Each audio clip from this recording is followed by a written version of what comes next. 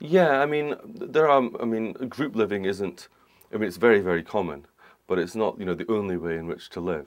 And in fact, we've been studying some fascinating organisms that actually flip between a solitary existence and an incredibly strong collective existence. So one example are locusts.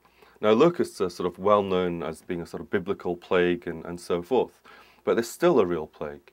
They can actually cover or invade up to one fifth of the Earth's land surface during plague years, which is astonishing. And the Food and Agri Agriculture Organization of the United Nations estimates that they impact the livelihood of one in 10 people on this planet through the impact on, on agriculture and so on.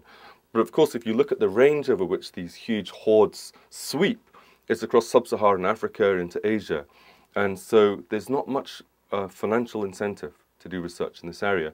But there's, of course, a, a, big humanitarian incentive, and it's, it's also a fascinating problem. And so what locusts actually do is, when times are good, they will avoid each other. They're shy, they're green, they're cryptic grasshoppers, they can't stand being near each other. It's only when times get hard and the physical sort of contact or the sight and smell of others causes them to change. And they literally change their color. They become sort of black and yellow with red eyes. And they start marching together. They start swarming together across the landscape. And this is before they get wings. You know, when they're adults, they can then fly together, which disperses them even further. And so collaborators of mine at, at uh, the University of Oxford and now at Sydney University discovered this behavioral switch.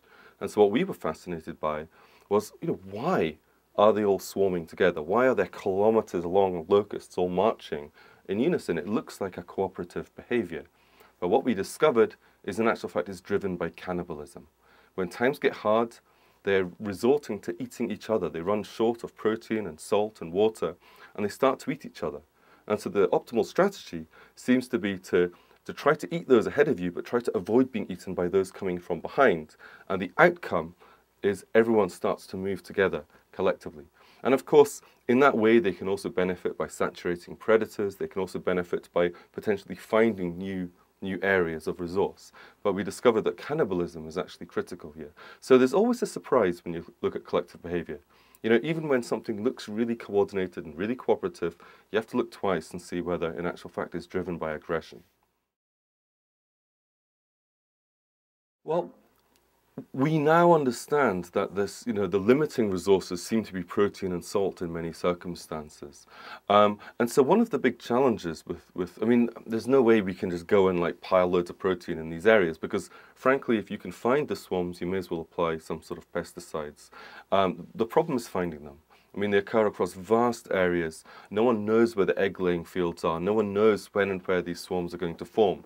So if we can link together our understanding of the biology with our understanding of weather patterns, geography, using what's called hyperspectral imaging from satellites to give us some information about the protein content of vegetation, what we're hoping is it might be possible to actually start building predictive models and using the types of simulation techniques that we've developed to scale up from you know, in detailed individual interactions up to the behavior of, of millions of individuals, we're hoping that we can make some breakthroughs in, in, in control.